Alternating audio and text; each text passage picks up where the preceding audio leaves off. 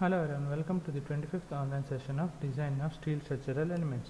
So in this session we are going to revise all the topics that have been covered in your classroom session as well as in during the online sessions. All the five modules we are going to discuss in this session and we are going to discuss few of the important and repeated questions which will be definite questions in your video examination as well as few of the design problems where you will do mistakes and we are going to see the design steps in with respect to the code book also okay how to refer the code book as well as how to refer the steel table also will be explained in this session okay so all the topics will be covered in this section as a brief. Okay i will briefly explain what are the important and regular questions which will be coming in your VTU exams as well as the what are the design steps okay which my, you might do wrong. We will be discussing that as well as the how to take the values from the steel table. This is what we are going to discuss in this session okay? So let me go to the first model now okay? In the first model it is regarding the advantages and disadvantages of the steel structures. So this is the first question and the regular question which you can see in your VTU question paper okay? So write down the advantages and disadvantages of the steel structures. So write down properly the advantages in a num numbering wise as well as disadvantages of the steel structures. Then the second topic was limit state method. That is limit state of strength and limit state of serviceability and stability. So three things so limit state method in steel accounts for three things. One is strength stability as well as serviceability.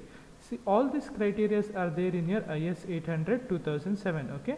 So in this PDF okay IS 800 2007 code book the strength criteria the stability criteria and the serviceability criteria all things are mentioned. From the code book itself in point wise manner write a note. So they may ask you write a note on limit state method of design of steel structure. So for that write down a note with respect to limit state method of strength st uh, structural stability and serviceability. For before that just brief introduce what do you mean by limit state method. Okay the factor of safety will be coming into picture. Everything after that write down in limit state of method for steel. There are three criteria which will go on the design. So one criteria is the strength second criteria is the stability. Third criteria is the serviceability. So with, with respect to strength what are the criteria? Everything is there in your is 800 2007 okay? So i will show that. Let me first uh, brief you about the topics. Then i will show it in the code book pages okay? So first thing limit state of strength write down the points. Then limit state of stability write down the points. Serviceability write down all the points. So this is the second question you might expect in your exams. Write a note on limit state method okay? So you have to write first briefly introduce limit state method then write down about limit state of strength stability serviceability okay? Then one more question which may, they might ask you in their exam is the failure criteria of the steel okay? So the failure criteria there are four failure criteria which i have discussed in their classroom session. One is maximum principal stress theory second one is maximum principal strain theory then maximum shear stress theory and the last one maximum strain energy theory so these are the failure criteria of steel okay? So you have to write down the those points and whatever i have given you in the classroom session whatever i have given you in the notes you have to write down those points okay? Then the design consideration. What are the design consideration we are going to use? So that is also there in your is 800 2007 okay? Then the load link as well as the load combinations. So what are the types of loads which are coming on the section? That is dead load live load or imposed load you can say.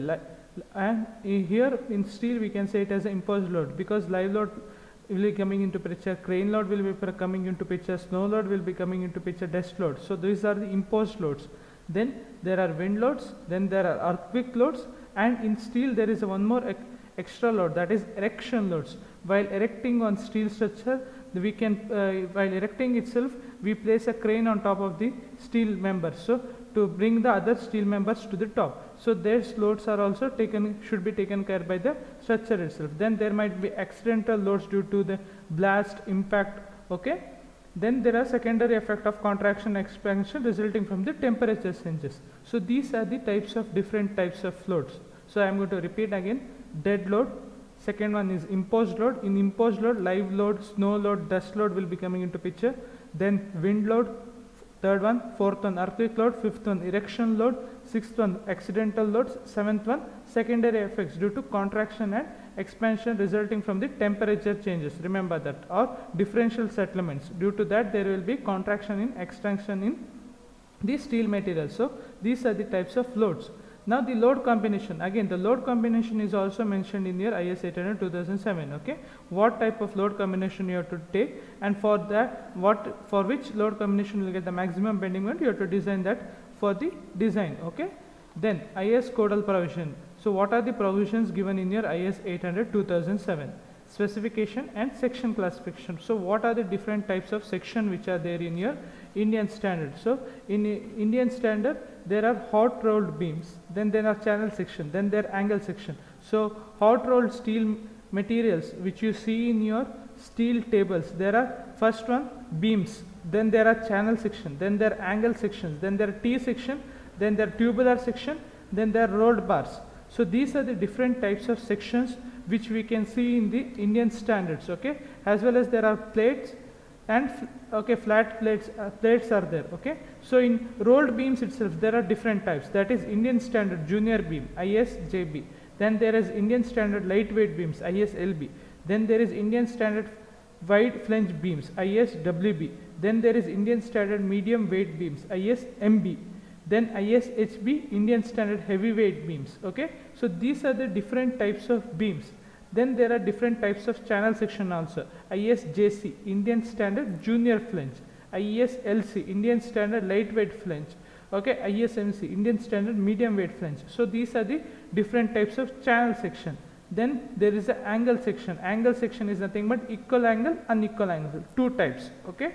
Indian standard angle section. Okay. One is of unequal size, one is of equal size, the flanges. Okay. Then there is T sections then there is tubular section, then there are rolled bars. Okay. So these are the different types of sections which you can see in the, the and there is the last one that are flat plates. Okay, plates. So these are the different types of sections classification done according to Indian standard. Okay, the properties of those sections are given in your steel tables SP 6.1 1964. In those steel tables, you will get the properties of that sections. Okay, so this is the first module, first top few topics. Okay, so the question might be asked regarding what is the write a note on loading as well as load combination. Okay, this is the fourth question you can expect, and the fifth question is regarding the section classification. So this is the fifth question you might expect in your examinations. Okay, so this is basically with respect to the first model first part. Okay, here there is no theory question, uh, problematic questions, only the theory questions will be there. Okay, in this model in the introduction part, there is theory questions and there will be lot of theory questions also okay? So you can see here five questions can be generated from these few topics itself okay? Now before going to the plastic behavior of the steel structure okay? Now let me go to this code book okay? Let me show you that where in which page number the limit state of strength stability and serviceability will be coming into picture okay? Then the loading as well as load combination. So this is your is 800 2007 okay so the first thing, okay, let me go to the limit state of design. So here is your limit state of design. So if they ask you in the exam, write a note on limit state of design, write down few points. What do you mean by limit state of design? Why we need to do it? So here is the points itself. You can see this. If you read this only, you will get a brief idea why we are going for the limit state method. So here in this paragraph itself, why we are going for the limit state method is also described. Okay. So you can take some points from here itself. Okay. So this is the thing. Then the limit state of design page number starts from the page number 27. Okay. So the main criteria is limit state of strength as well as limit state of serviceability. So those criteria are here 5.2.2.1. So this is the criteria which you can see. Then 5.2.2.2 limit state of serviceability includes. Okay. So this is there in your page number 28. Okay. This is regarding the limit state of design. So as I mentioned earlier, one more question they may ask, what is the design philosophy? So these are the criteria of design philosophy that the design action should be less than means the loads which are coming onto the member should be less than the design strength of the member. So a member can carry some amount of loads, right? So the design strength of the member should be greater than the design loads which are coming, okay? So that is the criteria which you can see. That is the design philosophy okay? That is the limit state of design. So in this page number page number 28 you can see the criteria of limit state of strength as well as limit state of serviceability okay? Then actions loads to be considered okay? So here it might mentioned as actions. Loads itself can be mentioned as actions okay? Then if they ask you regarding the this what load combination? So here is your load combination in page number 29 what are the load combinations see here it is. Dead load imposed load. That is live load you can say or the snow loads all are said to be in imposed load. Remember plus wind load then crane load okay? Then accidental load erection load earthquake load. So these are the different criteria these are the different loading conditions and this is the load combination for limit state of strength and for limit state of serviceability okay so here is your partial safety factor which you have to include and you have to do the designs okay?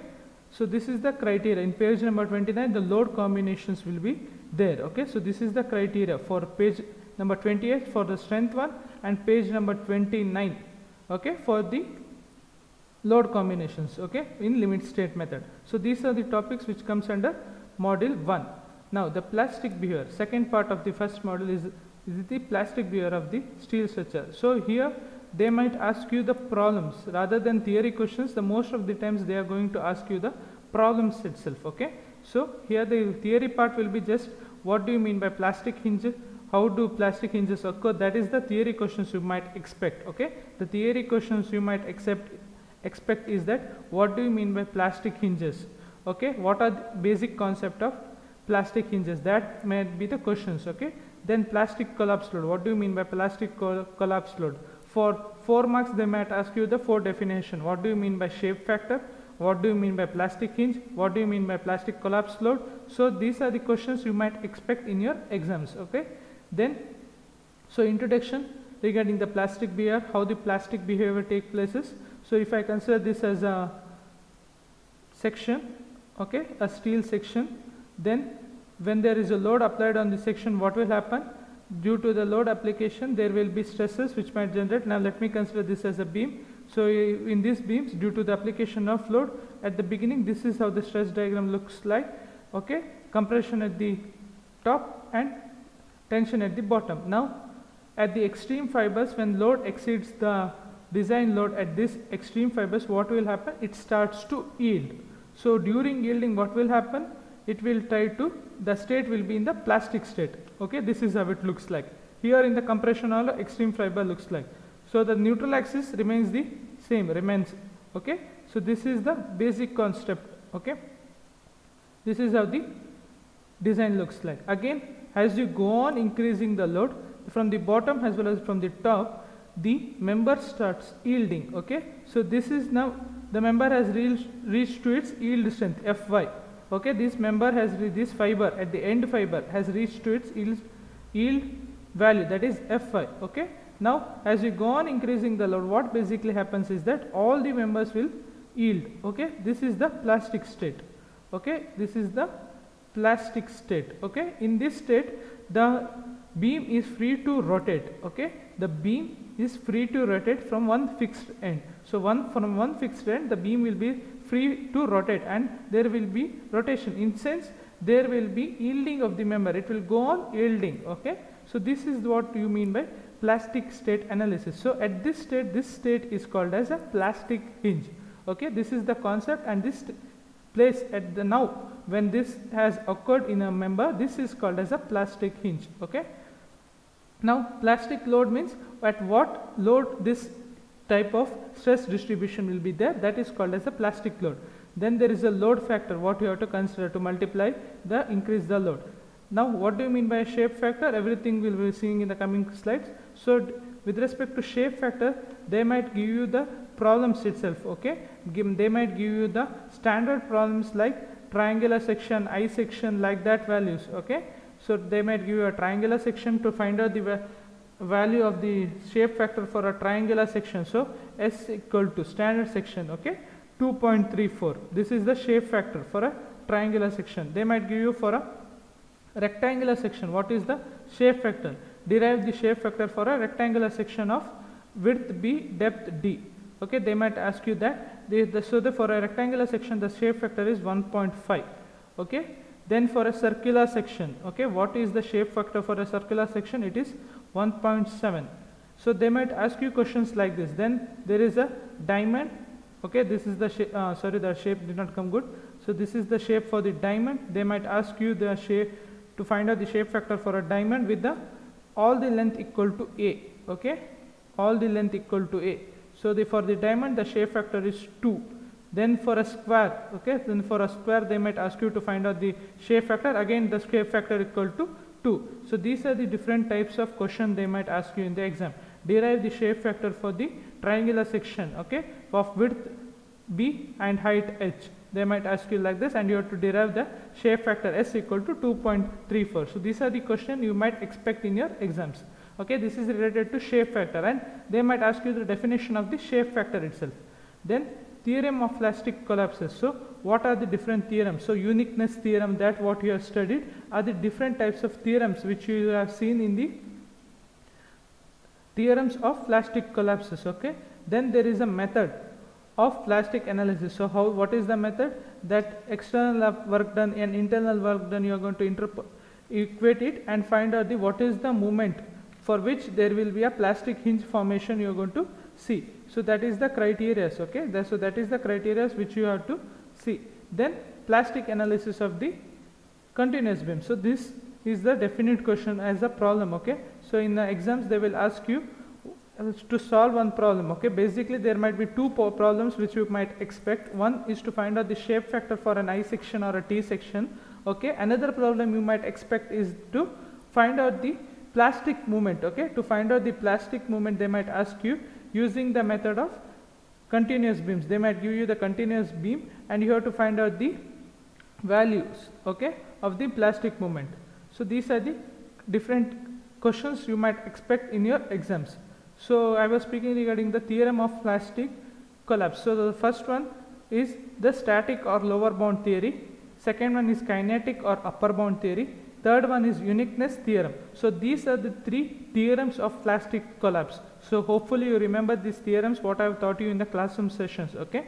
So these are the three theorems which we have seen do, with, which we are going to solve the problems. Okay. Then the method of solving plastic analysis is nothing but equating the external work done equal to the internal work done. Remember that. And plastic analysis of a continuous beam, then equating it to find out the values of the MP. What is the load carrying or what is the load which is coming for which there will be a plastic hinge formed. Okay. What will be the load for which the plastic hinge is formed? That is what you are going to see in the plastic analysis of a continuous beam. Okay. These are the few things. Okay, now what do you mean by a section modulus? Z. So a section modulus Z. Z equal to I neutral axis by Y maximum. So this is the section modulus Z. Okay, for elastic modulus, remember that. Then plastic modulus ZP. ZP equal to A by 2 Y bar plus Y1, uh, Y1 bar plus Y2 bar. Okay, which is equal to summation of AY bar. Okay, this is the plastic section modulus. Okay, plastic section modulus, or you can say it as plastic modulus itself. Now this is also equal to summation of A y bar. Okay, this is used in your problems for solving I section. Okay, and for T section this formula is used for derivation. Okay, for derivation for the triangular section if they have asked you they haven't given you the values and they have asked you with respect to b h b d like that they have asked you. And for a diamond section if they are given the all the lengths equal to a to derive this value of shape factor equal to 2.34 or shape factor equal to 1.4 s equal to 2 you have to use this formula you have to use this formula okay? You have, you have to use this formula. And for solving problems for each and every section you have to use this formula to calculate the value of zp okay then the shape factor will be equal to Zp that is plastic modulus divided by section modulus or it can be MP by M. So it is the ratio of plastic moment to elastic moment also it can be ratio of, of plastic section modulus to the section modulus of the section okay. So this is what you mean by shape factor okay. So one problem you might expect uh, uh, to find out the shape factor it might be of I section it might be of the T sections okay. So let me brief you how to find out that okay.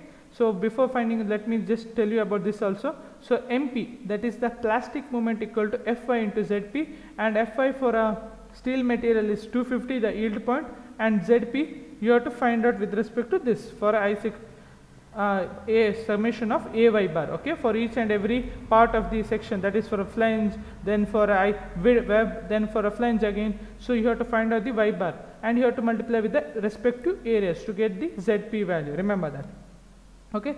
Zp plastic section modulus a by 2 into y1 plus y2 okay? This is the formula which you can use. Otherwise you can use the formula of summation of a y bar. Okay? This formula also you can use.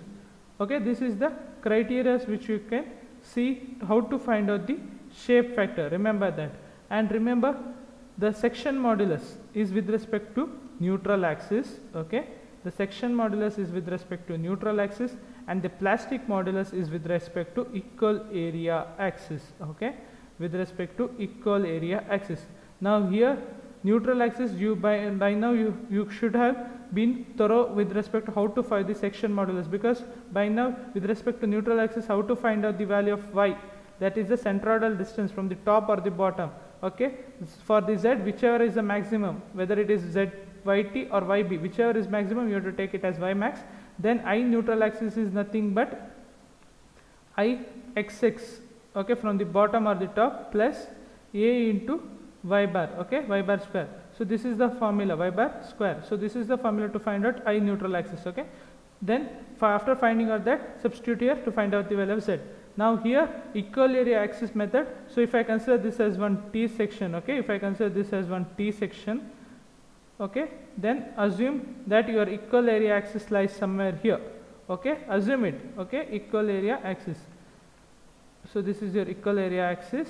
Then you have to find out where it lies. You have to find out this. Let me consider this as n. Now you have to find out this n right? So you have to make sure that you have to consider that the half of the area half of the area of this t section will be equal to the shaded proportion. Okay shaded proportion. Let me consider this as bd so now you have to find out the value of n right? So this is b and this is total depth is d. So the shaded proportion area will be b into n. Okay will be equal to half of the total area. Okay remember that half of the total area of this t section. Then you will get the value of n.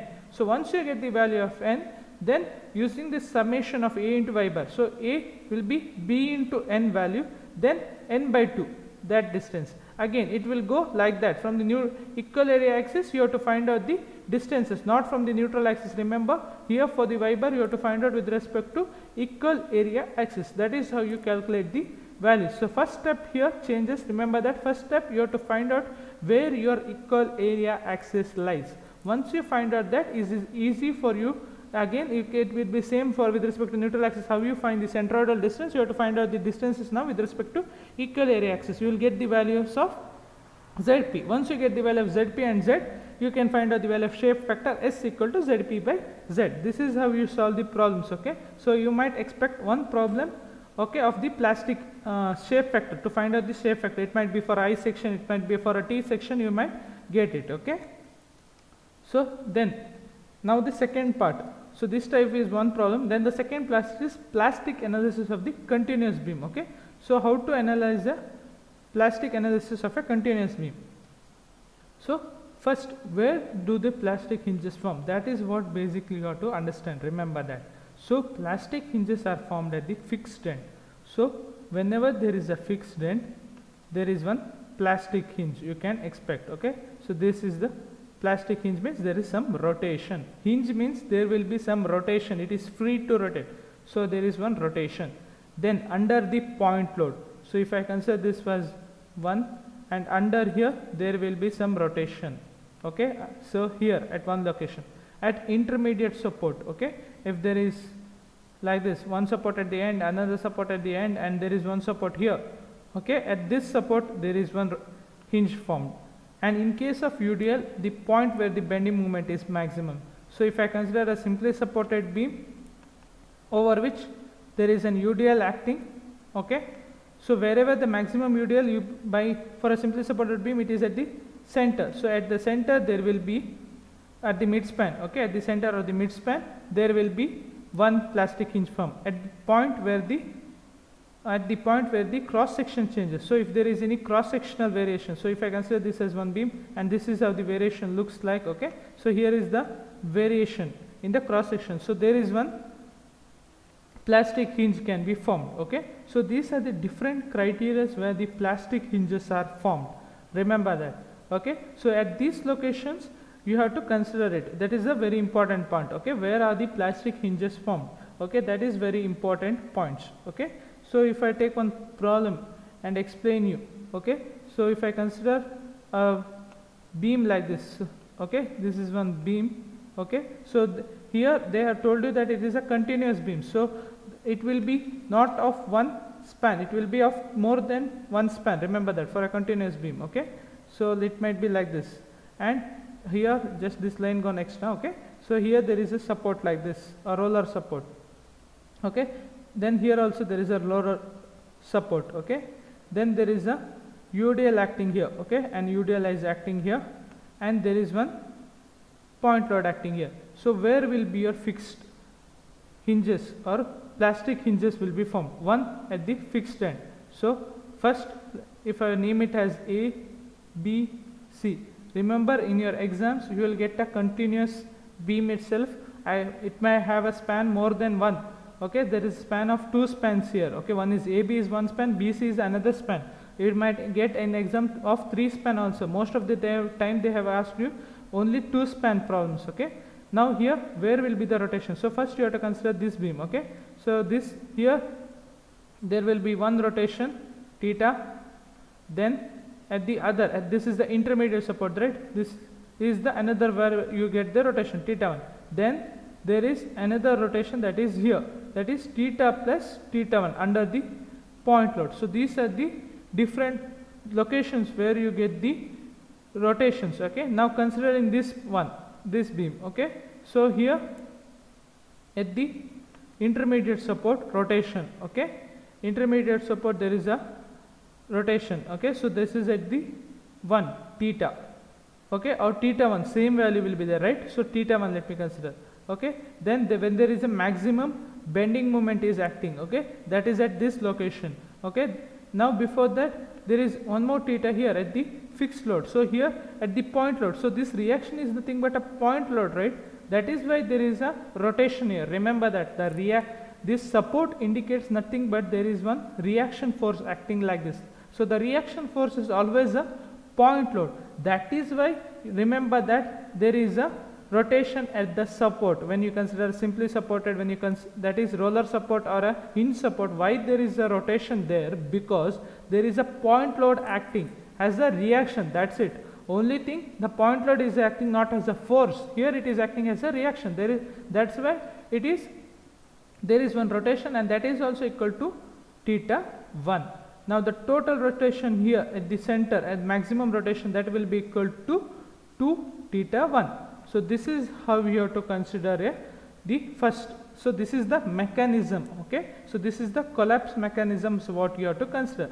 Then what you have to do? You have to equate external work done equal to internal work done. That is the next step okay okay that is the next step. Now before that itself as i mentioned you in the classroom session you have to make sure that you have to write theta with respect to theta 1 or theta 1 with respect to theta okay? So you have to write down that why? Because you have to substitute here. So that all things comes in your mechanism part itself. Remember that okay? That all parts. So next step where external work done is nothing but the value of the load okay? Value of the load which you have to consider. And internal work done you have to consider the value of mp so mp plastic moment they will be given under the span itself. Whether it is mp mp or mp or 2 mp like that. So that will be given. So you have to write with respect to that. Here for that this beam span i will be writing. It is theta mp plus mp into so let me consider both as mp mp okay? Mp into theta plus theta 1 okay this is internal work done for span AB okay internal work done for span AB MP plus theta 1 plus theta 1 plus MP plus theta 1 so this is how you have to write the values. Remember that. This is how you have to write down the values for the case. Okay? Now once you write down this then equate it to the load which is given that is the external work done okay? External work done is nothing but the load whatever the load here it is given okay? Load whatever it is given divided by the deflection what you, is occurring here. Load divided by deflection okay? So that is the criteria you have to take. So again so what do you mean by deflection? Deflection with respect to rotation you have to write. Why? Because here the tan theta for a small values of theta it will be equal to theta itself so for that you have to find out what is the deflection with respect to theta as well as theta 1 so that it is easy while substituting. So internal work done is nothing but sorry external internal work done I have written here. Sorry external work done is nothing but so this load which is coming let me consider as W into deflection. So deflection you have to write it with respect to the values of the theta or theta 1 okay? You have to consider tan theta. Tan theta with respect to a length. So if we consider this as L by 2 and L by 2 so this will be L by 2 so with respect to that you have to consider and find out the value of delta so once you find out the value of delta you will get the with respect to theta and L you will write down the external work done. So once you find out external work done and internal work done you have to find out the value of W what will be the load for which there will be this much amount of plastic moment. So that is what you have to do or analyze the continuous beam. So this is the analysis part of the continuous beam. So hopefully I have given you the brief idea regarding the plastic analysis of the continuous beam. So the first step is nothing but first idea you have to get where all you have to put the rotations one at the fixed end theta then under the point load so under the point load and wherever there is a reactions okay reaction i can write. Okay reaction is nothing but the point loads itself. Okay at intermediate support. In case of UDL at the point where bending moment is maximum. At the point where cross section changes. So these five locations you have to apply the rotation. That is theta you have to do. Okay? So this is the condition. And then so in exam there will be more than one span will be given. Okay most of the time they have given only two spans okay? So for these two spans you have to analyze separately consider one span at a time. So consider one span at a time. Write down what is the mechanism draw this sketch properly draw the sketch then write down these mechanisms and find out the value of theta with respect to theta 1 find out the value of deflection with respect to theta. Once you find out that write down what is external work done. External work done equal to load into deflection then internal work done equal to this movement into rotation mp into rotations then when you equate it both all the thetas will get cancelled and you will get it the value of load with respect to some plastic moment okay so that is the final result you might obtain. So, this is the analysis plastic analysis of the continuous beam. So, here in this model there will be a lot of theory questions and two types of problematic questions you might see. One is regarding the shape factor problem. Okay, Shape factor problem is a definite problem as well as analysis of plastic analysis of a continuous beam. So, these are the two topics for which you might get up problems. Other topics there is a theory question okay? So they might write tell you to write down the theory of plastic collapse. So that is the mechanisms okay? How to consider that rotation we, and which all location there will be rotation. That is what you have to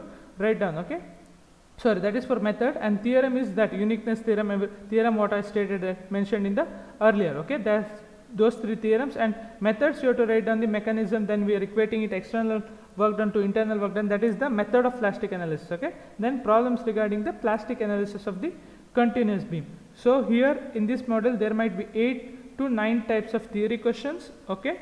And there might be two types of problems which we can see okay? So this is what you can expect from the first model okay? So be thorough with all the theory questions and at least be in a way that you can find out the shape factor for any type of section it is given okay? If the plastic analysis of the continuous beam is tough difficult for you to understand then at least find uh, you should be in a manner that if you give any type of section you should be ready to find out the shape factor for it okay? So that is what you have to do in the first model okay so hopefully you got a brief idea regarding what we might expect from the first model so what are the concepts so now let me go to the second model. So this is what I was speaking, equating the external work done to internal work done. External work done will be load into displacement, internal work done plastic moment into rotation.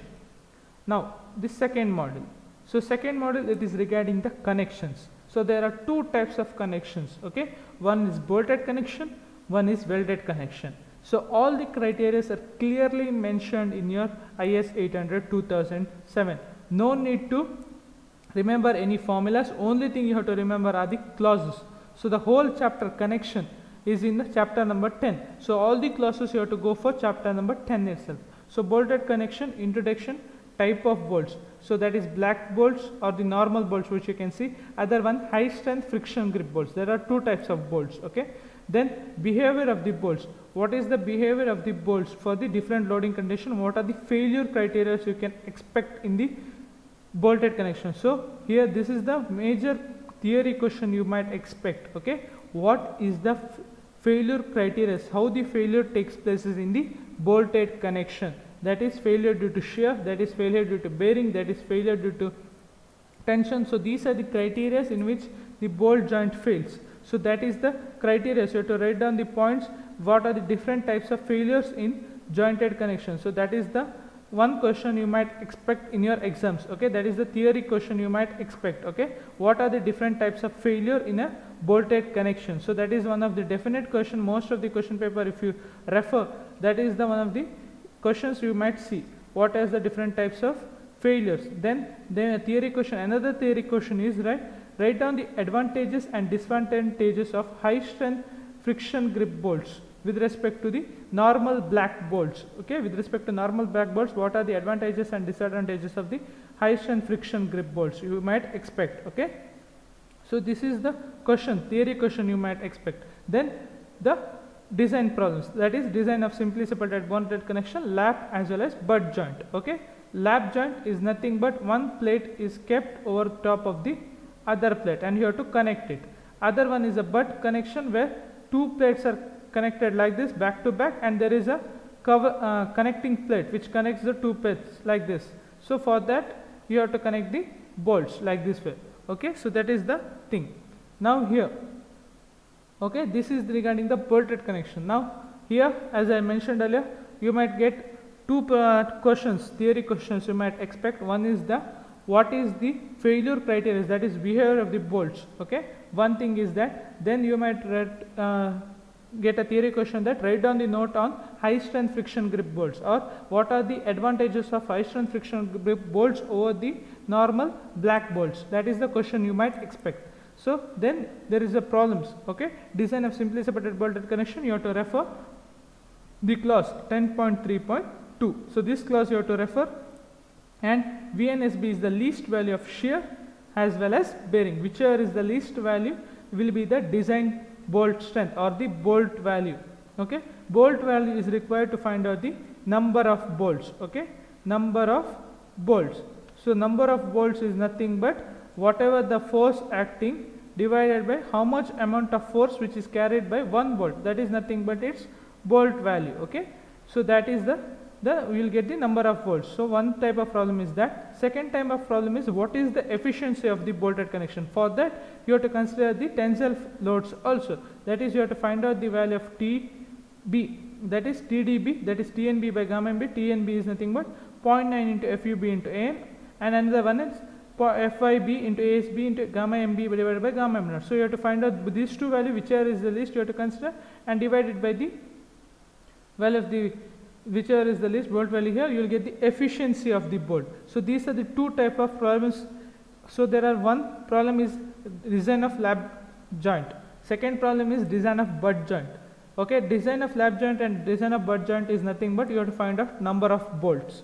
Then the third type of problem you might expect is what is the efficiency of efficiency of the bolted connection you might expect. Okay, these are the three types of problems which you might expect regarding the bolted connections okay? And in welded connection so this is the regarding the bolted connection. Now going to the welded connection. Welded connection it is introduction types and properties of the weld effective areas of the weld weld defects simple weld joints for a truss member advantages and disadvantages of the bolted and welded connection. So here the theory questions. First let me discuss regarding the theory question. Weld defects okay? Weld defect is the most times the asked question okay? What are the failure criteria in a welded connection? This is the general most time asked question okay? Number of times this question is been repeated. What are the failure mechanism in the bolted weld, sorry welded connection? This is the theory question you might expect in the welded connection okay? So then there is a design of a butt weld fillet weld okay? That is also the question you might expect. That is the problematic question okay? For that also no need to worry. Everything is there in your code book IS 800 2007 okay then the effective areas what is the throat thickness that thing what you have studied for a fillet weld for a butt weld what is the throat thickness okay? That is the effective areas. Then types and properties of the weld what are the different welds you can do okay? That is fillet weld, butt weld okay slot weld. So these are the different types of welded connection welds you have seen. So what are the why where which weld is being used okay? That are the criteria. Then one of the important question you might expect in this second module is this one advantages and disadvantages of the bolted and welded connection. What are the advantages with respect to each other okay? So with respect to each other what are the advantages and disadvantages of a bolted connection? Or what are the advantages and disadvantages of the welded connection? So this is one of the questions which might you might expect okay? Now so you have seen the clauses for the bolted connection okay? For a high strength friction grip. Again they might ask you to design a friction grip type of bolting which asked in the last previous year. Okay so using this formula using this clause 10.4 you have to design a friction grip type of bolting okay? VDSF equal to VNSF divided by gamma F MF okay so this is the value. For this is for a slip resistant and KH equal to 1 for a fastener in clearance holes. So when there is a bolted connection with clearance holes is given. And nu f coefficient of friction table number 20 you can take it directly as 0.55 any number of effective interface offering the friction resistance to slip. So, number of bolt holes which is resisting the failure okay where the crack will propagate number of bolt hole will be passing there okay. You can take it in the gauge length way okay not in the pitch way in the gauge length way you have to take it okay. That is any. So that is the criteria to find out the friction grip type of bolting okay. Then so another one more type of problem. So design of the so here in the problems design of a lap joint, design of the butt joint, design of the friction grip type of bolting, then efficiency of the bolting. Then there is a design of the welded connections, okay. Design strength of the fillet weld FWB shall be based on the throat area shall be taken as FWD equal to FWN divided by gamma MW, okay. FWN equal to FU by root 3. So Fu equal to smaller of the ultimate stresses of the weld or the parent material and gamma MW is factor of safety. So this is the formula which is used to find out the strength of the weld. Okay, one formula. So these are the criteria you have to take. Remember, okay. So these are the criteria you have to remember, and all these criteria are there in your code book itself for the welded connection as well as the bolted connection. Okay. So let me show that in your code book.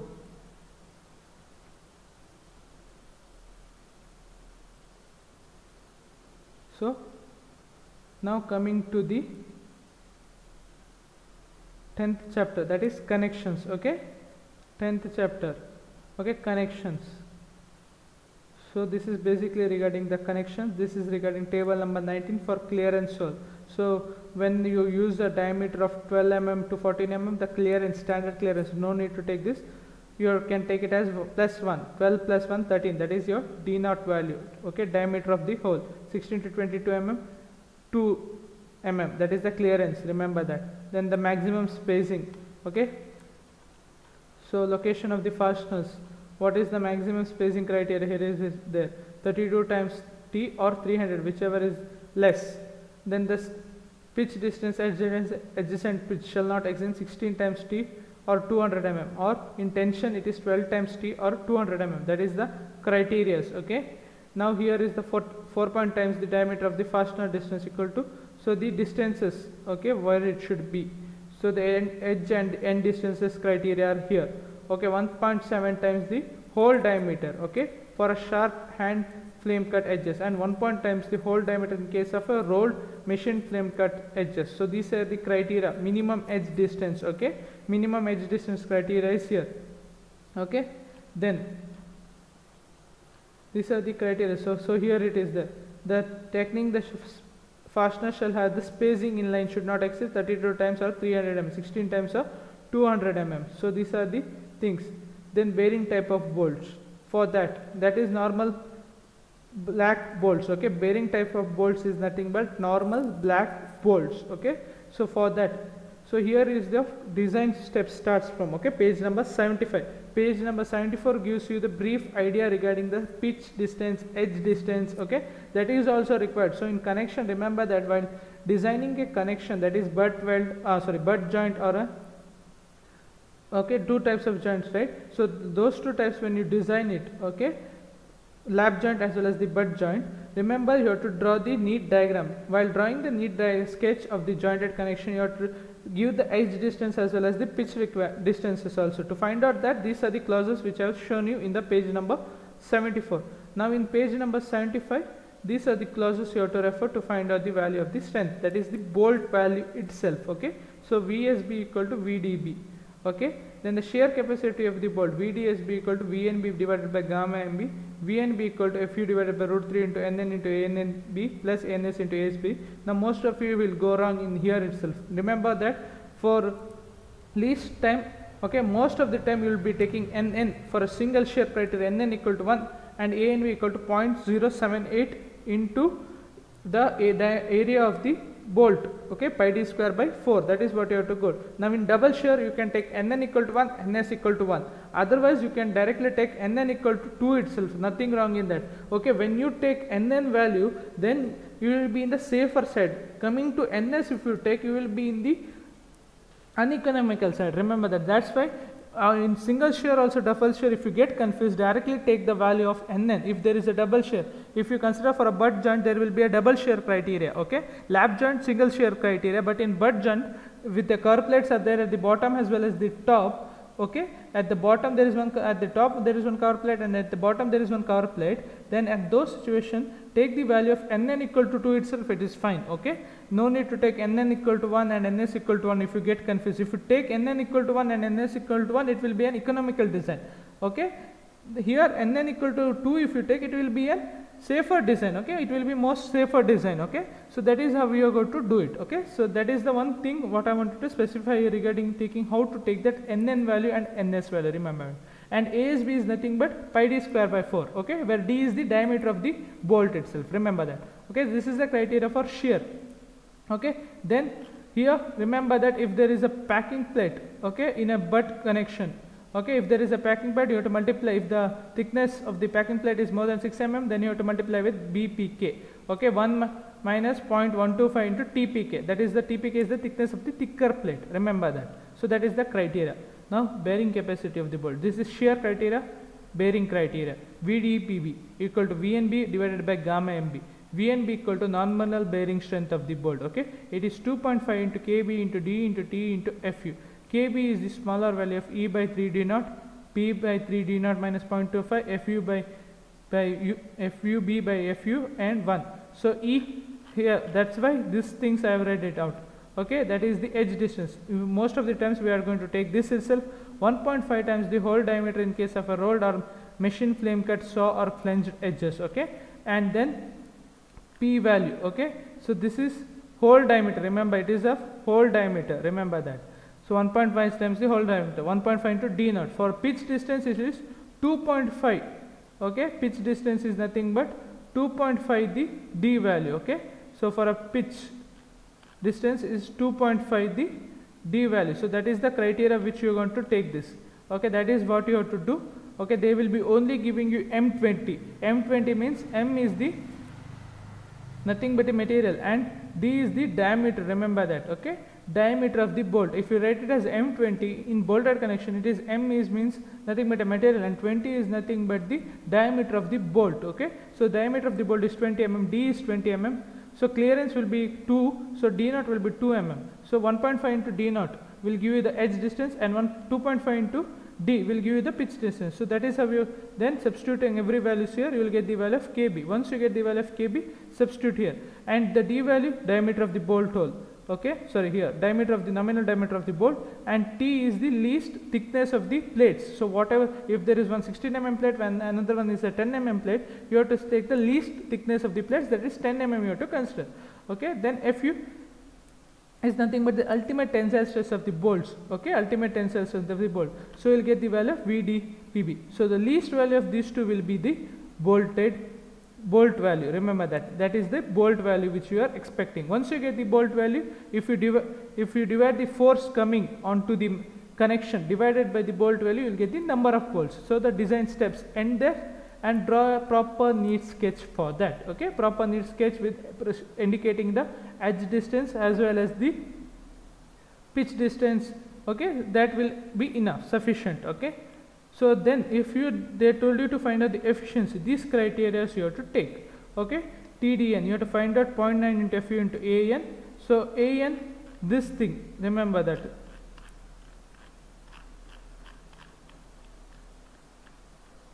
AN is nothing but net tensile shear specified in approximate Indian standard tensile error okay so that A and you have to consider. Then FIB into A and B shank area of the bolt itself. Okay. So you have to find out these both and you have to equate it to efficiencies. Remember that. That is the one case. Now in the another type of problem they might ask you is regarding the friction grip type of bolting. Okay.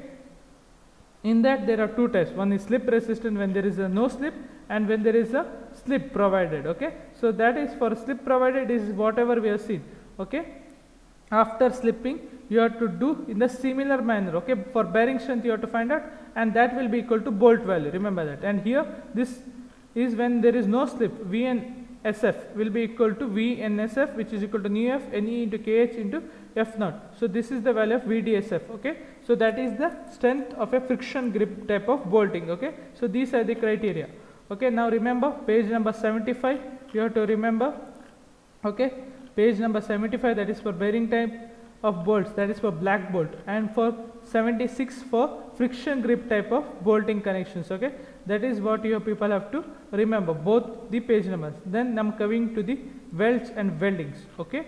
So here there is a for conditions and returns then lap joint connection okay? Thinner plate or 14 mm the thickness of the lap joint okay? Then the size of the weld okay root run equal to 2.4 minimum or the size of the fillet weld should be taken as maximum leg size into 2.4 mm. So these are the condition. Then throat thickness effective throat thickness of the fillet weld should not be less than 3 mm and generally should not exceed 0.70 so this is what we are going to take. So if you remember all the problems in all the from the second model till the fifth model this is what we are taken 0.7 times the t. So this is the criteria we are taking okay the size of the weld and maximum size of the first run weld this is it. But this is for the practical case you have not used it okay?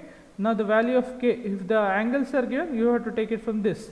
Effective length criteria everything is there here itself area criteria okay? So these are the criteria which you have used. Now to find out the strength for strength of the fillet weld fwd into fw into gamma mw where fu equal to F fwn equal to fu by root 3 so this is the condition to find out the design stress in the welds okay?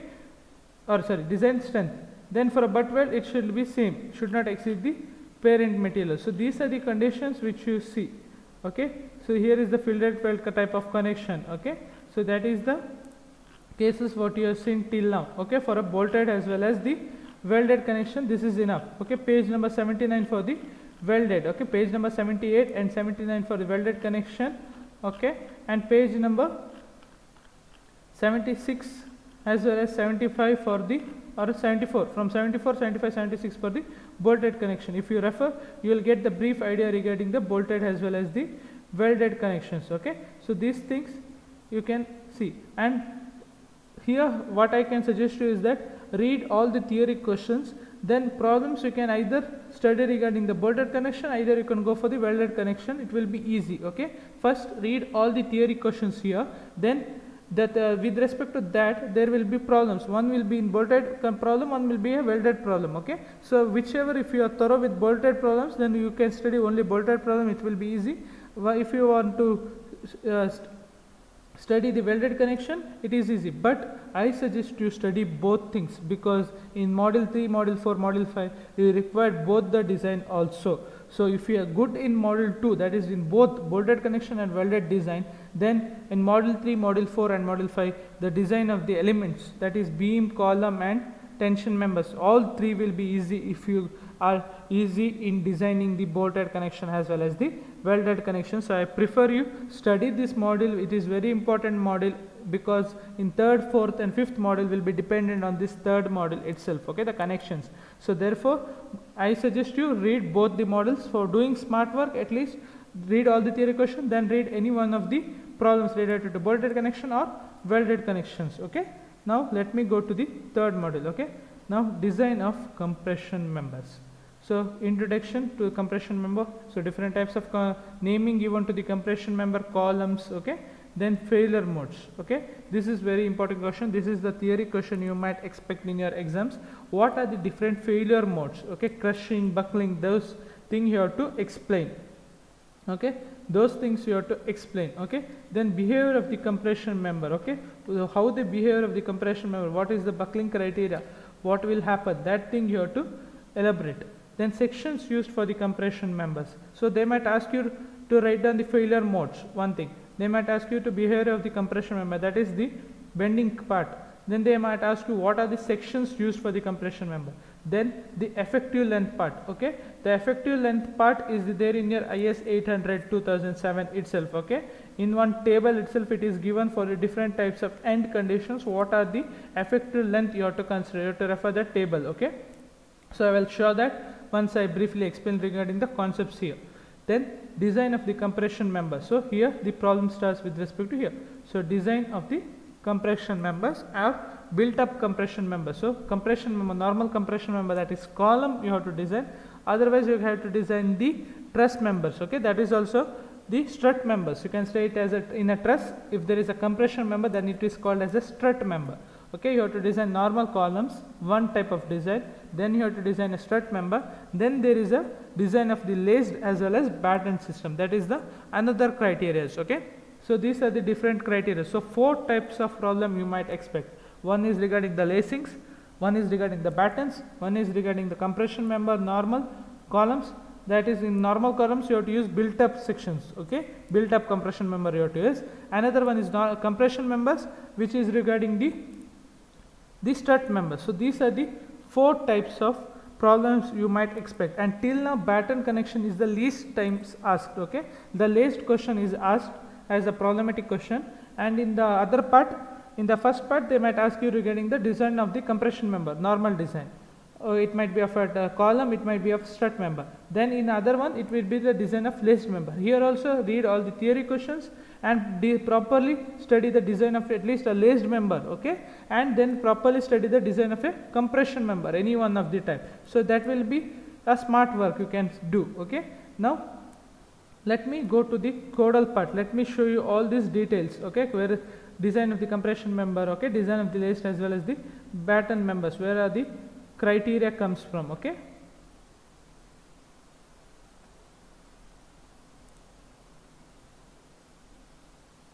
So in this code book IS 800 2007 okay? So design of the compression member chapter number 7 okay? So here is the criteria. Design strength p should be less than pd tension member t should be less than td in design of beams m should be less than md and v should be less than vd so these are the criteria okay? The loads whatever the loads okay that should be less than the design strength of the member. Now how to find out this pd so pd equal to ae into fcd so ae is the easiest part okay to find out the area. For fcd you have to do little bit of work okay to find fcd either you can do it in a two manner one is to going with this formula part other part is to refer this tables okay here is the effective length criteria okay uh, that I mentioned here effective length of a compression member. So instead of going to this manual calculation as I told you you have to you can find out this value by referring table okay depending on the buckling class. So it is the opposite table not in a straight manner you have to refer. So you have to refer table number so let me go to that. Table number 10 and find out with respect to which buckling class it belongs to. Okay if it is i section you have to check this criteria and see the buckling class. Remember that okay? If it is i section if it is a then if you they have given you the channel section and for a strut member you are only choosing an angle section okay? And built up section comes under this itself okay? It all belongs to class c okay the buckling class c. So that is very easy. Then you have to see this end resistance also. So first thing refer table number 11 after that refer table number 10 okay? So first thing find out the effective length with respect to this end resistance. What are the end resistance? If the both the ends are fixed or both ends are pinned. So for a strut member remember that the both ends are pinned. Okay? That is in a truss member if there is a compression flange if there is a compression member that is a strut member. That is in strut member the both ends are pinned. So this is the effective length 1 point times the l. That is the length of the member itself. For a fixed end that is if you say a column member that is 0.65 the l. So this is how you have to take the effective length of the member. It is there in your table number 11 so refer table number 11 first. Then after that find out which buckling class the member belongs to. If it is an i section okay then this is the criteria which you have to choose okay if it is a channel section angle section or a built up section you can directly see that it is belongs to buckling class c after doing that you have to refer table number if it belongs to buckling number class a you have to refer table 9a buckling class b table 9b buckling class c table 9c so most of the times we are going to refer table 9c itself. Okay.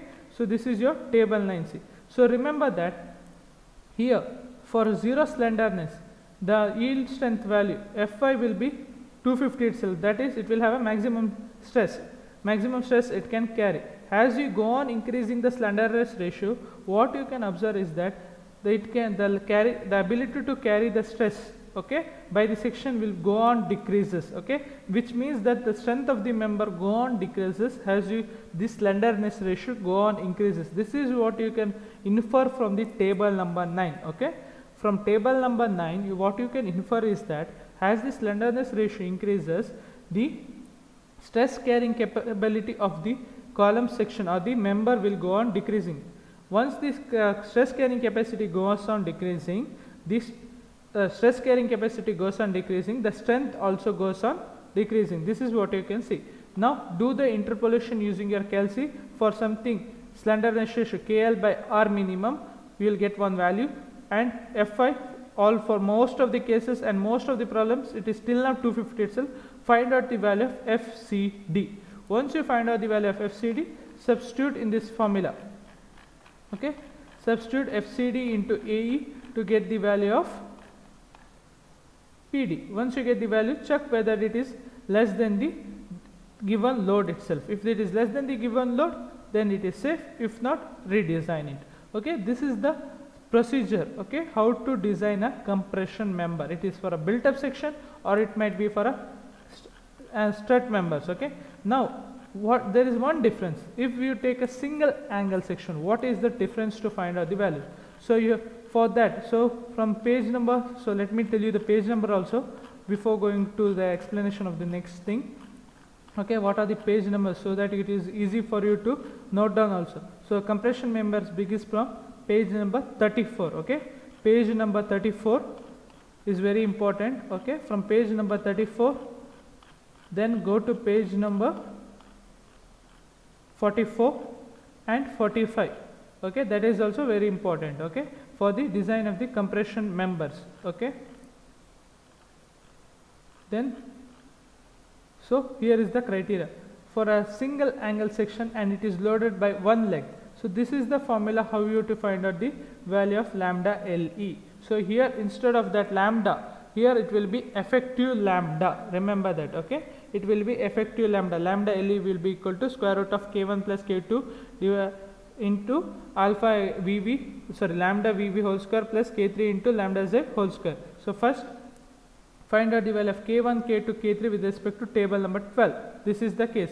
So most of the times if their values are given assume that there are more than two number of bolts and it is a fixed condition you are taking this value itself okay if not given in the problem okay are assuming that it is a fixed condition more than two number of bolts you are going for this okay then substitute here and find out the value of lambda Vv and lambda xi with respect to the properties of the steel uh, section which you are considered will get the value of lambda Vv and lambda xi. Once you get that substitute find the value of lambda e. Once you get this lambda e then you have to use the formula method okay in page number 34 okay in page number 34 this formula formulas you have to use. So here instead of that lambda it will be lambda e. You have found out that lambda e there okay that you are going to substitute here okay that you are substituting here in this pi. It is 0.5 into 1 plus alpha into lambda e here. For a single angle section loaded through one leg it will be lambda instead of lambda it will be lambda e minus 0.2 e plus lambda whole square okay so fcd then you find out using this value the fcd no need to check for this. Reduction factor only check for this. Fi by gamma m naught. If it is less than that then lambda the fcd is safe okay? That is how we are going to check it for a single angle section loaded through one leg okay? So that is the criteria which you have to take. Then this is the things what I wanted to suggest you. Remember the page number. So page number 34 the compression member criteria starts okay the compression member criteria starts from page number 34 till the single angle sections okay? Till here.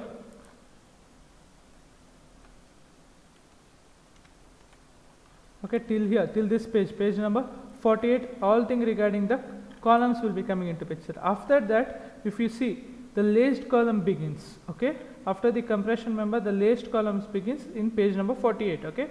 So page number 48 laced members so all the criteria are there in page number 50 okay then there is a battened columns. Okay in page number 51 so all the criteria is there till here. Okay till here it is regarding page number 52 it is regarding the compression member. First starting from page number 34 it begins from the compression member itself. After that there will be in page number 48 okay 48 laced columns will begin for the but main criteria which you are selecting the laced column the angles everything is here. Okay which is from page number 50 okay so it is clearly mentioned in your online sessions also these page numbers okay? Then page number 51 there is regarding the battens column. So i won't just explain you everything here itself. Only briefly i will say the criteria okay? This is one criteria for the batten columns which you have to take okay the slenderness ratio multiplied by 1.1 times the spacing is here. Spacing of the battens okay it should not be less than okay these are the criteria which you have selected okay?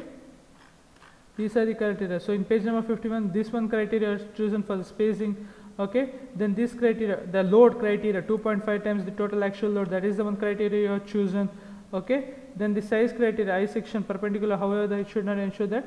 So these things okay sorry. Here this criteria you have chosen okay? These are the criteria which you have chosen. So go through this statements okay once at least once you have to go through so that you will have a good idea regarding that okay? So this is regarding the battens okay? The values vb how to find out that. Then for the lacing here are the criteria for the spacings okay? Then design of the lacing it is again taken 2.5 percent of the axial load.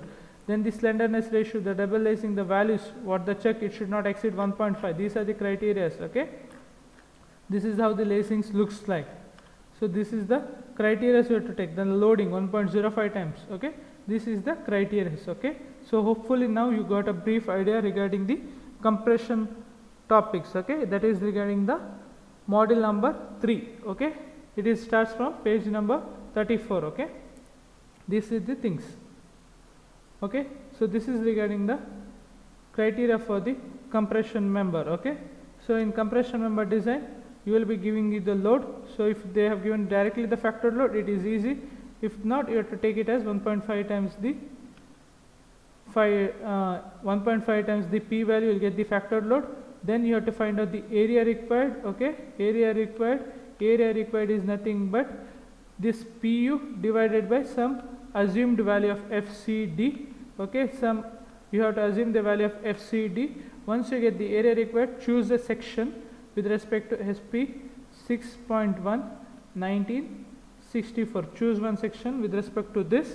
Okay select one section an i section or a channel section or a built up section anything. Choose one section. Once you choose the section write down all its properties. Okay write down all its properties. Once you write down all its properties the design step starts first refer table number 11 okay?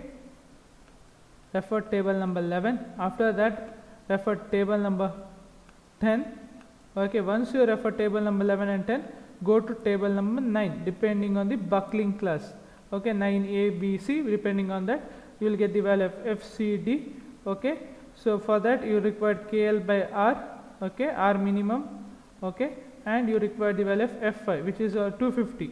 Okay, you will get the value of FCD. Once you get the value of FCD, get the value of PD and check whether this PD is greater than PU safe. Once it is safe, it is good. Otherwise, redesign it. Okay. So this is the criteria for a design of a compression member. Okay. Then there is the design of the lacings as well as the battens So I prefer you to uh, to study the lacings as well as the compression member problems also okay so compression member problems are also easy once you know how to refer the table number 11 10 and 9 okay so it will be easy the compression member problems will be very easy when compared to the laced column. Why? Because in laced column you have to first design the column itself. After that you are going to take the lacings. Okay? That's why it is little bit of confusing. Okay? And there is two criteria in lacing. So single lacing double lacing. There are you might get confused. So i prefer you people that study the compression member design properly. Okay? At least if you don't know how to design a compression member in laced member at least you can design till the compression part. And uh, whatever the criteria you referring the code book okay? So from there you can do the lacings designs also. So do the study the lacing design. If you study the lacing designs properly you'll get an idea how to design a compression member also. So study lacing design as well as the compression member problems okay?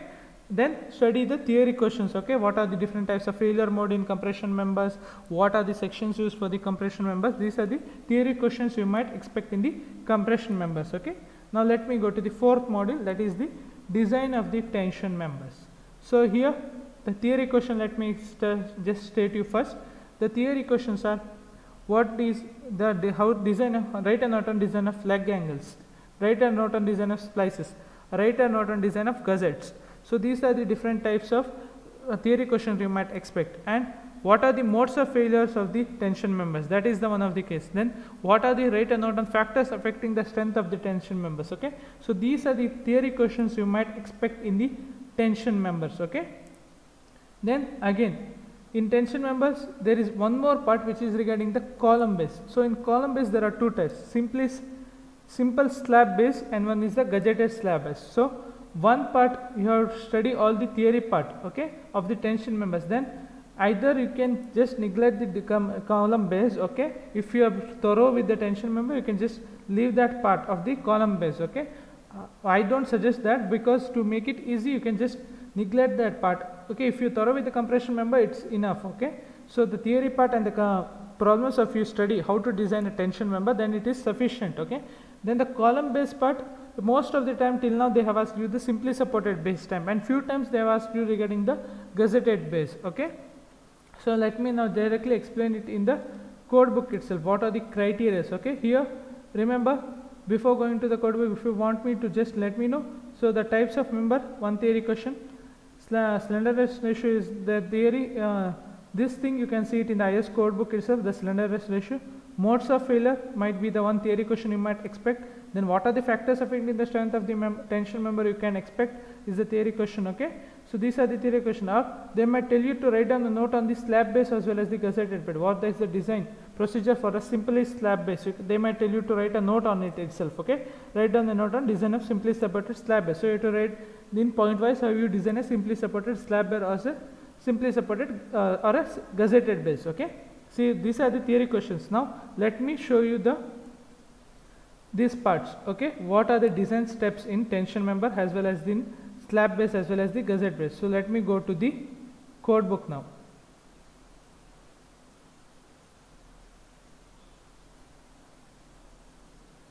Okay. Now the slab base as well as the gusseted base are in the compression members okay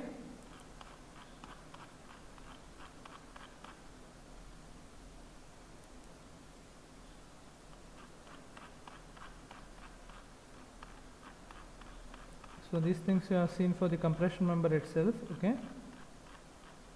So here is it. Column base 7.4 okay? This is a simply supported column base okay?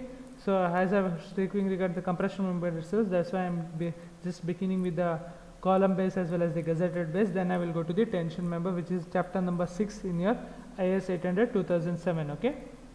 Now in compression member in that topic itself there is a column base.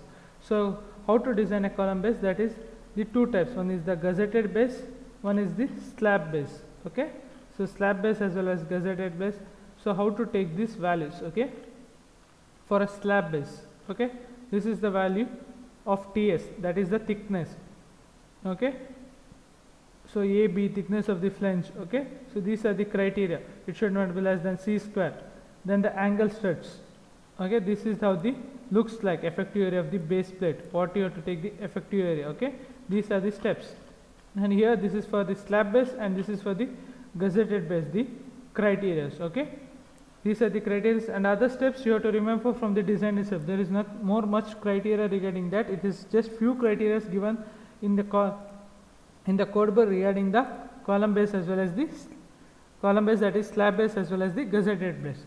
Now let me go to the design of tension members so here is the criteria for the design of the tension base okay? So design of tension base in page number 32 okay? So this is the criteria okay? Tension member t should be less than td td is equal to ag into fi into gamma m naught.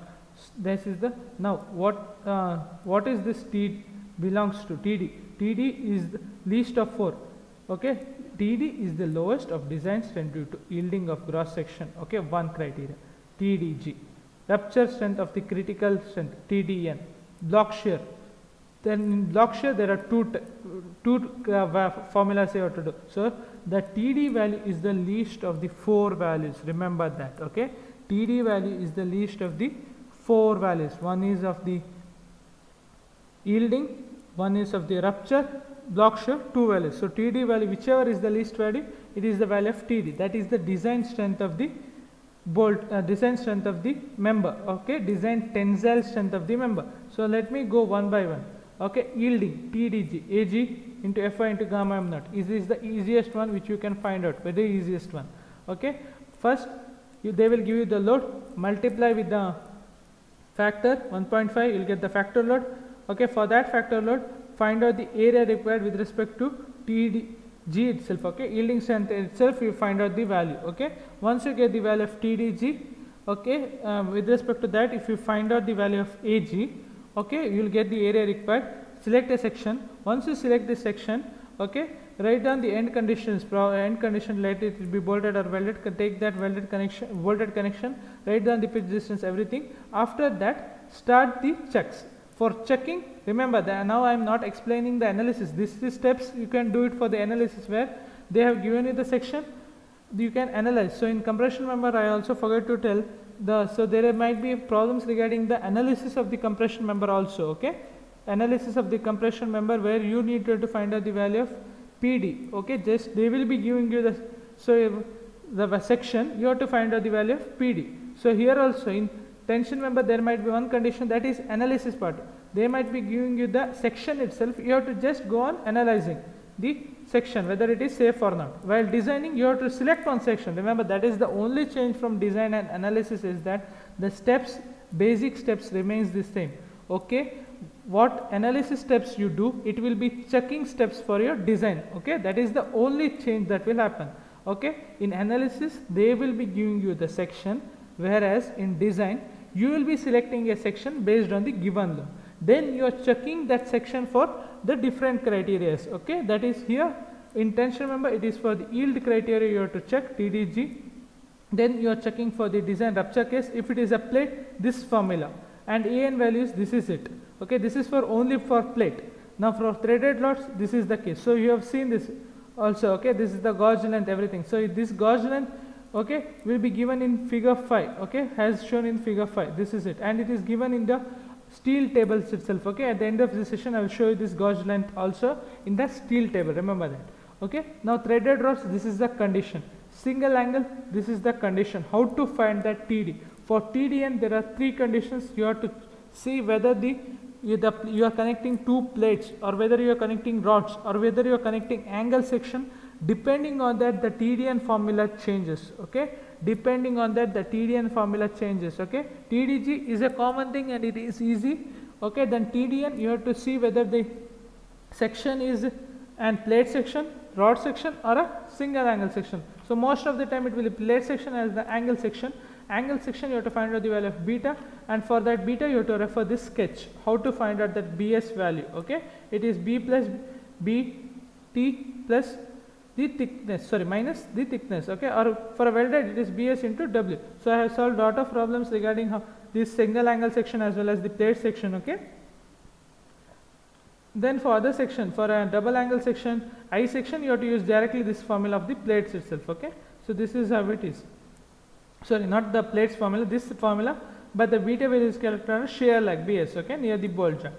Then that is the second case rupture. Then the third case is block shear case okay block shear connection tdg this formula these two formulas you have to use it to find out the block shear case. And remember here you have to find out four areas avg avn atg atn okay? So in with the draw a neat sketch okay? Once you draw the neat sketch you'll it is easy for you okay to find out the value of avg avn and atg and atn okay? So it is easy for you okay to find out the value. So only by solving the problems itself you will get to know how to find out that avg avn atg and an okay? So i cannot directly explain it randomly that this is this okay? So in the sketch they have given you in the code book also this sketches how to get this avn okay?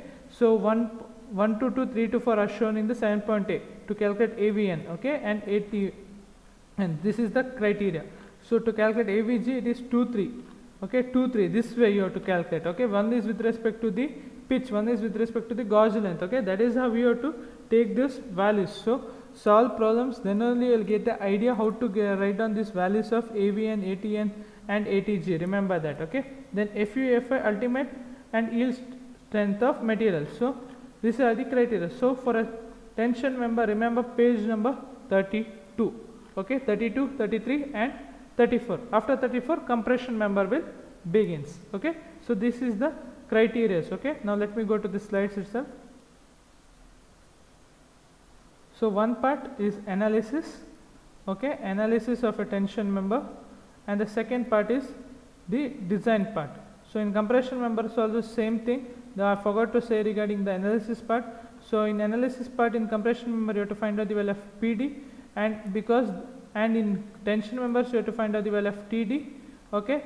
Where this they will be giving you the section okay the section will be given to you okay section will be given to you so what is given is the section okay this is given now in the design part you have to find the section itself okay you have to find the section okay then you have to check it the value for the for compression member you have to check it for PD then you have to in tension member you have to find out the value of TD for the check.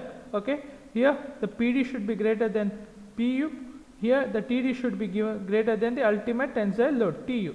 So this is the criteria. If it is safe, if this is both the conditions satisfied, then the members are safe with respect to compression as well as tension. Okay. And here what is given?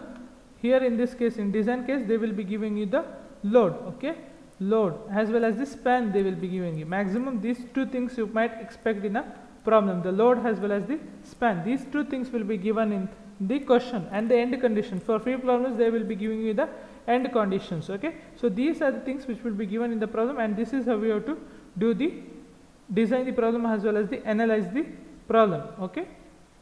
And there are again as I mentioned simply support a slab bend and gusseted place okay? While solving the problem itself you will get an idea okay? In few code books there are only few criteria which is given with respect to this okay? Now there let me just write down the steps okay so that you will get again idea. T will be given that is the load. If there is directly given the value of factor load then no need to do this step. Tu factor load equal to or ultimate tensile load they will be given. The, so see the problem read the problem co correctly. If they are given ultimate tensile load then that that is directly tu okay? Tu equal to 1.5 times the t that is tensile load. Once you get that find out area required okay? Area required okay? Equating Tu equal to Td. Okay, Tdg, equating that yield strength, you will get the area required. Once you get the area required, select one section. Okay, select one section, maybe an angle section, maybe a I section. Select any one of the section. After selecting a section, write down its properties. Okay, write down its properties. Okay, once you write down its property, uh, see whether they have given you the bolted connection or the welded connection. Do the end connections once you do the end connections okay once you do the end connection go for the check okay? You have to do this check start with the check. First check for TDG once you check for TDG check for TDN okay TDN again there are three things okay? So most of the times it will be plates or the angle sections okay? Single angle or a double angle section these are the criteria. Then check for TDB that is for block shear. Then here there are two formulas okay? So this is it. Then whichever is the least value that is the strength okay? That is TD okay that should be greater than TU. So analysis this part. Analysis only this will it will be coming into picture. Design these are the extra step. Okay and so remember design starts from here analysis starts from here. Okay this is the only change between the design as well as the analysis okay? So in compression also so this is the design. Here the design starts okay? But analysis starts from here okay? Analysis starts from here. So these are the different criteria okay? So these are the different criteria okay? So fully by now you got an idea regarding the fourth model that is regarding the tensions member okay? Now the fifth model is nothing but the design of the beams okay? So here the theory questions will be lot okay? The theory question might be the what is the beam to beam connections okay? That is seated as well as the frame connection. You might you need to explain the seated as well as the frame connection. Then they might ask you regarding the column splices how to connect a column to a column. That are the theory questions you might expect okay? So these all here uh, these things design of a laterally unsupported beam. Till here all these are the theory questions which generally are repeated in your VTU question papers okay?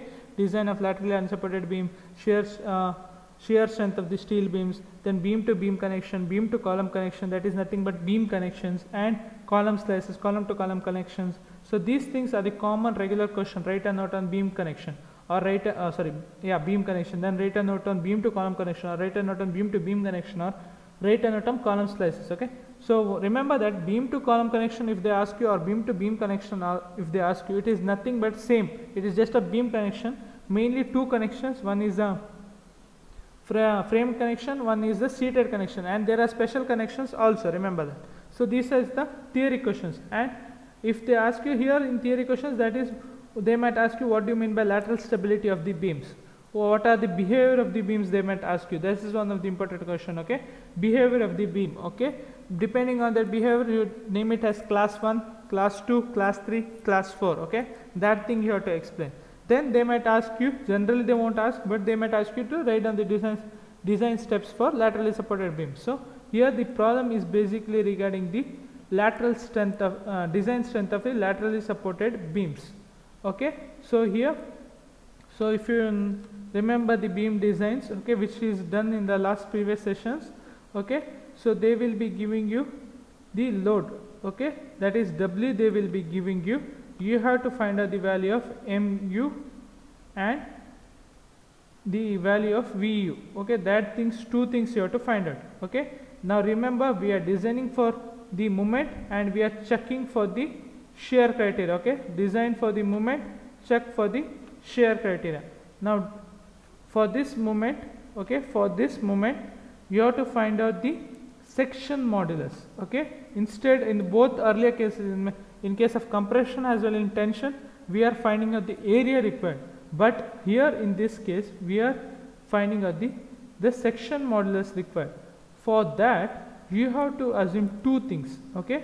Now the picture starts. Okay. So the mu, then mu to find out the value, the formula to find out mu itself, there are two criteria. Okay. One, when V is less than or equal to 0.6 the VD okay then that is design strength of the section this is the load okay factored load or vu greater than 0.6 the vd okay there are two formulas. Again in this there are two criteria okay? With respect to plastic okay plastic where beta equal to 1 okay directly. Or semi compact semi compact okay semi compact so, beta equal to Z E by ZP. So, this is the criteria. Again here two criteria. Plastic okay, and semi compact. So, these are the two criteria semi compact. Okay. Again here to find out beta there is a formula. So, beta here will be again there is a formula. Okay. So, these are the criteria. Once you get the value of, uh, once you assume these values and find out and get the value and substitute and find the value of z required. Okay. So, assume first let us assume Vu less than 0.6 Vd and let us assume plastic section and write down the formula for Mu and find out the value of z required. Okay z required. Once you get the z required you will take a section from the steel table which is having zp greater than z required. Okay that is section you have to choose. Once you take this section write down its property then start checking for all these cases. First check for the buckling case. Once you check for the buckling case of the web then check for find out the value of vd of the section. Once you find out the vd of the section that is the design shear strength of the section you check for this condition vu is greater than 0.6 vd or not. Before that also check for the beta uh, value okay? Whether it is in plastic state or in semi compact state that is the buckling case okay? On basis of that you are checking whether it is in plastic state or in semi compact state remember that on the buckling case you are checking whether it is in a plastic state or a semi compact state. After writing down the properties once you check whether it is in plastic state or in semi compact state find out the value of vd after finding out the value of vd check for vu once you find out the value of vu uh, check that condition then check the value of md what is the design strength of the beam? Okay? This both should be greater. Vud should be greater than vu and md should be greater than mu okay this both should happen.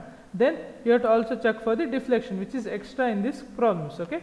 You have to also check for the deflection case depending on the loading conditions and the support support conditions okay? The deflection conditions also it has to check whether it is a cantilever beam or whether it is a simply supported beam.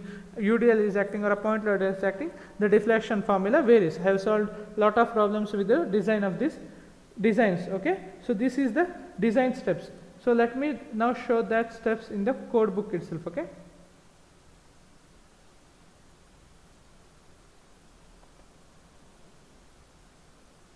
So, design of member subjected to bending okay that is nothing but beams are subjected to bending. So, here the max starts now effective span criteria is here. So, the design strength in bending that is flexure okay M should be less than MD. So, how to calculate that okay the design bending strength of the beam adequate supported against laterally torsional buckling okay laterally supported okay that is 8.2.1 if it is not laterally unsupported, it is 8.2.2. So this is for laterally supported beams.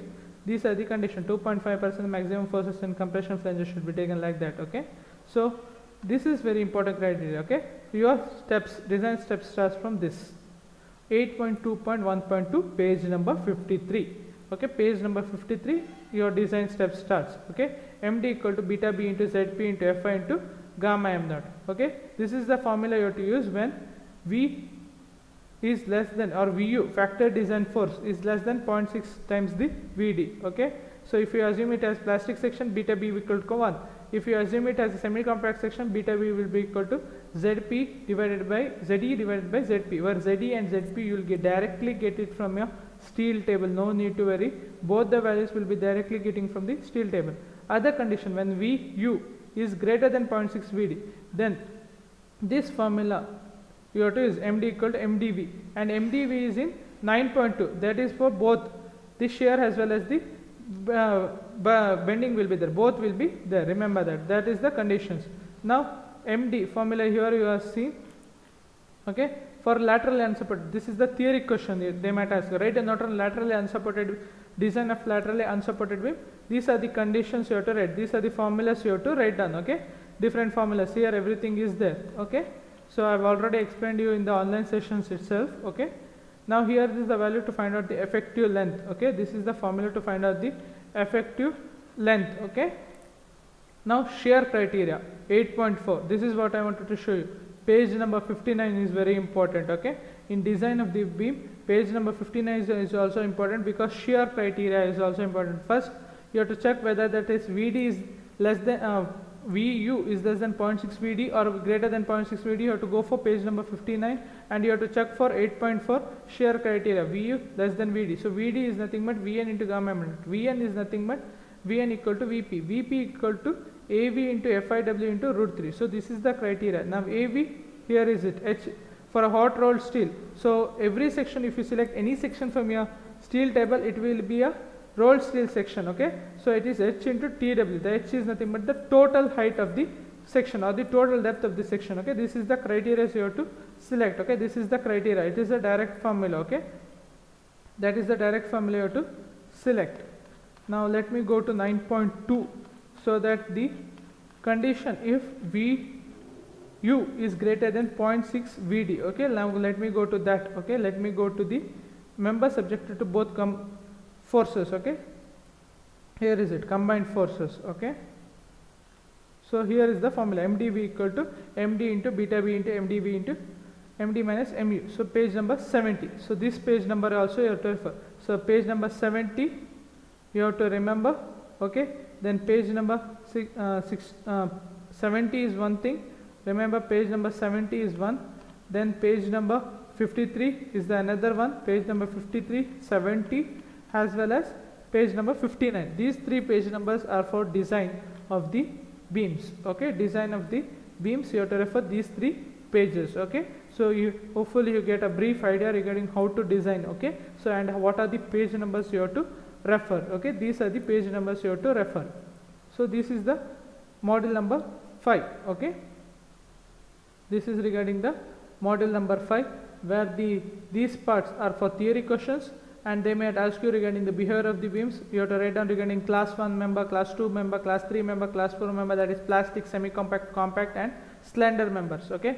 Sorry plastic compact semi compact and slender member. That are the behavior of the beams. Remember that is also important question. Write a note on behavior of the beam. You have to write down that regarding class 1 class 2 class 4 3 class 4 plastic semi compact uh, compact semi compact and slender members. You have to write down those things okay? Then there might be one more theory question. What are the factors affecting the lateral stability also they might ask you. So these are the theory question you might expect in this fifth model okay? Now before these are the things. Okay now before ending this session let me show you the steel tables how to take just a brief idea how to take the steel values from the steel tables okay? So let me go to the steel table indian standard table sp 6.1.94 okay? So this is your steel table which you have to refer okay? So in here in this steel table remember that all the data and all the properties of the section which are used in India have been given okay? So let me go go by one by one okay? So here is it. Rolled steel beams rolled steel channel section rolled steel equal angle section unequal angle section. That is what you are regularly using and that is what you are seeing every time. Then the angle section okay? So angle section here it is. Single angle has a tie okay these are ties means tension member. Double angle section has a tie. Or oh, if you take this section you will directly get this property. So 142 155 these are the properties. Then here the double channel section okay? Bressner columns as used as columns okay? Double channel laced or battened. So these are the criteria okay?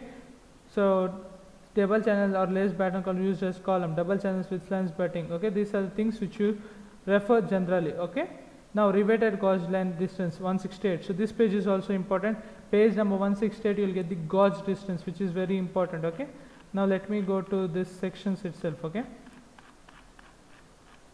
So this is the rolled eye section. So this so first starts with junior beam section. Okay. Then the heavier sections will coming into picture. So first thing load.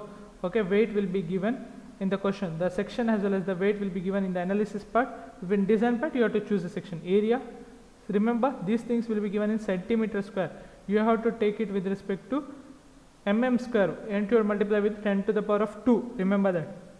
And h will be given in mm b will be given in mm tf will be given in mm t w will be given in mm. Again i axis will be given in centimeter to the power of 4 okay? You have to convert it into mm. Again multiply with 10 to the power of 2 okay? Here also i y y. Multiply with 10 to the power of 2 r axis multiply with 10 to the 10 okay multiply with just 10 okay you have to convert it in mm. So remember to convert area as well as ixx rxx in mm because you are solving all the problems in mm okay. So this is the major mistake most of you will do. You will directly write it in centimeter to the power of 4 in a values from the code book uh, from the steel table in their answer sheet and you will everyone will copy that everyone everywhere will copy that same value. So that is the one major mistake you will do. So don't do that mistake okay? Change the values. Convert it as and when you write it from the steel tables itself okay? So then here is z axis r1 root radius okay? H1 b1 and there is this gauge length okay? So this is the gauge length okay? This is the normal gauge length which you required in module 3 4 and 5 gauge distances okay? For writing down the bolted connection that design the diagram what you draw right for that. Then uh, wide beam section high beam sections okay? These are the sections. You can select any sections okay? Select most of for the conditions H, ISHB if you select it will be good for all the conditions okay? It will be safe the section the for all the criteria is ISHB sections if you take it will be safe okay? Safer in all the condition. It might just go that uneconomical okay? So width of the flange is B. Okay H is the total depth okay? TF thickness of the flange okay? TW thickness of the web okay? I axis moment of inertia with respect. X axis I Y Y moment of inertia with respect to Y Y Y. Y axis radius of gyration R Y Y the radius of gyration Y direction. Root radius CR R2 where is it is okay R1 here it is. Okay so that those are the root radius. Okay section modulus Z axis Z Y Y. Okay R1 here is the value. R2 this is the root radius. D depth of the flange. Okay slope of sorry slope of the flange. H1 this is the gauge distances. Okay okay these are the section properties. Now rolled steel sections. Okay these are the rolled steel section. As i mentioned earlier okay both z xx and zyy is given. Okay one is ze one you have to take and section module selecting a beam. So remember that take one section which is having higher value of this okay? Higher value okay? This uh, ze required okay? Ze required you have to uh, we are taking a section right? Then this value you have to consider okay? For beams this value you have to consider z axis value which is ha- having greater value where then z required okay? That is the condition you have to choose. Then for a rolled steel channel section this is the conditions okay so rolled steel channel section gauge length everything is given. Then equal area angle section. So this is an equal area angle uh, angle sections. Equal angle section that is unequal. This is equal angle sections okay? Then rolled steel unequal angle sections. So these are the tables which you have to refer okay? So this is the brief idea okay?